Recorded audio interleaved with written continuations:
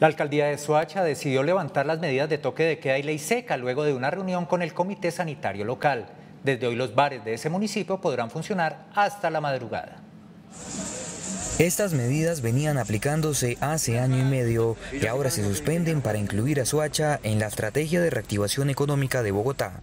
Tenemos todos que tener el autocontrol, todos tenemos y la responsabilidad de nuestra vida y de nuestra salud está en nuestras manos. Así que reactivamos la economía, abrimos los restaurantes en los planes pilotos que ya había autorizado el Ministerio del Interior, pero todos tenemos que cuidarnos. Comercios y bares podrán funcionar hasta las 10 de la noche y hasta las 2 de la madrugada respectivamente también deben cumplir con normas sanitarias en atención al público.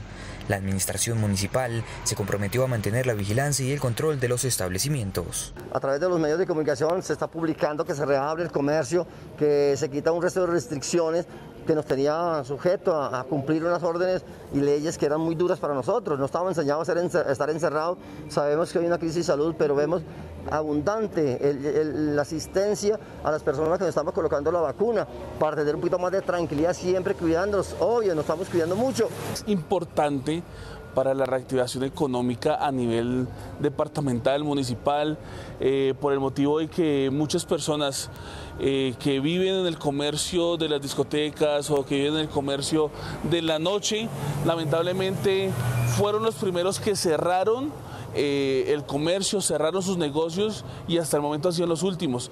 La alcaldía también informó que el lunes festivo habrá pico y placa en la autopista sur. Que los próximos dos puentes festivos vamos a tener pico y placa sobre la autopista sur en el retorno de Girardó hacia Bogotá en los horarios acostumbrados.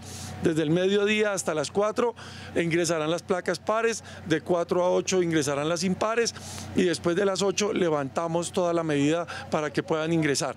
Quienes viajen desde municipios de Cundinamarca o de otras zonas del sur deberán cumplir la medida o desviar por la vía Mondoñedo para evitar el pico y placa.